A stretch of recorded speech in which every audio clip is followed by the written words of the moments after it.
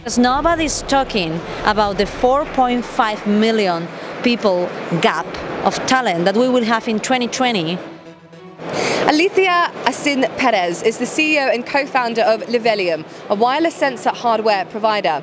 Alicia is an advanced computer engineer, an IoT expert, and winner of the Spanish National Young Entrepreneur 2014. She joins us now on Cloud Moves TV. Alicia, welcome. Thank you so much for joining us. Real pleasure to have you on.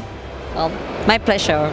Now, big question to open up with. Um, are we destroying the economy by allowing artificial intelligence and other robots to take over the general workforce? Well, I would say we are just changing that.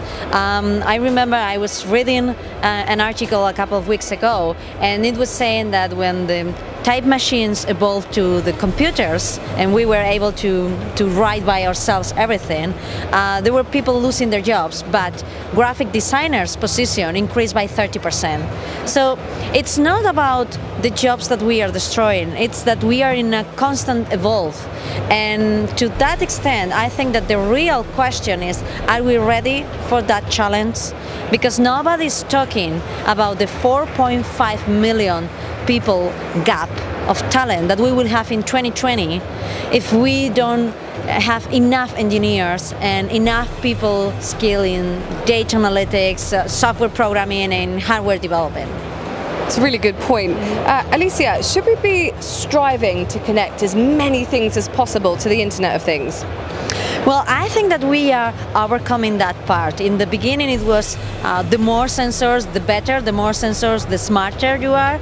And the trend that we are observing right now is that it's not about quantity, but about quality. So many of our customers are asking us to say, can you give us more accuracy and more quality in the sensors so that we can have sensors comparable to the professional weather stations or the mm, water quality stations that, that we have. So it's about that. Alicia, how can we ever safeguard the sheer volume of data collected by IoT products?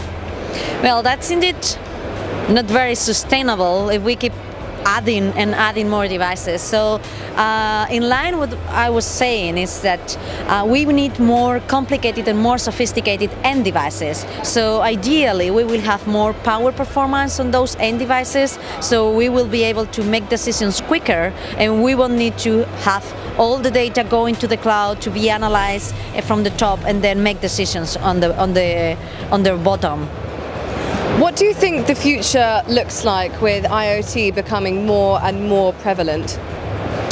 Well, I think that uh, I will say that the biggest legacy of IoT will be more democracy, and that's because if we are in a culture that's outlining and remarking the use of data, the use of KPIs, and, and rational information, uh, and we translate that into our cities, we will be able to analyze the behavior of our politicians in a more rational and clever way. So it'd be nice if we were able to vote based on real results, just results, and not according to political or marketing campaigns. That happens to be the same, by the way.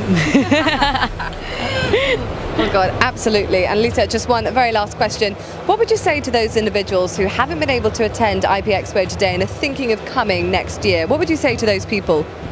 Well, I would say that this is a great place to have an, ex, uh, an executive summary of the IoT. Uh, I think that there, most of the hot topics about this, like security, interoperability, and even ethics and social impact of the IoT are being covered. So I think it's it's worth to spend two days here and not months on, on the on the internet browsing yourself. Absolutely. Alicia, thank you ever so much. That's Alicia Asín Pérez, the co-founder and CEO of Libelium. Speaking to us here, I'm Emma Boyle and this is Cloud Moves TV.